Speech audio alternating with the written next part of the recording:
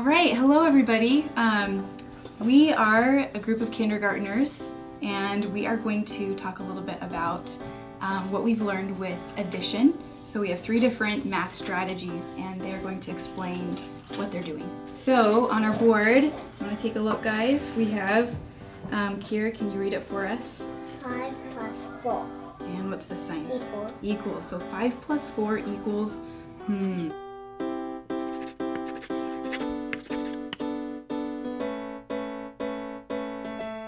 So Daniel chose the number line because it is a very visual uh, means to answer a question like this, and it's visual not only like the frogs and lily pads are visual, but it also shows the progression of numbers, and they can see um, that numbers are getting higher and the direction that they move, especially when they get into subtraction.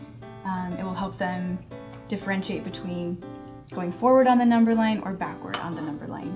Kira used the frogs and the lily pad to tell a story and in kindergarten stories are a great way to convey information and to help students understand more clearly different concepts and so using the frogs and the lily pad is, is a great option for her. So the abacus uh, is a great tool especially for kids that are struggling with one-to-one -one correspondence when you're counting, um, recognizing one, two, three, four, that one number corresponds to each bead. So this um, is a great way, using many different methods, to solve a math problem. It's a great way to open each of their minds to lots of different ways to solve math problems.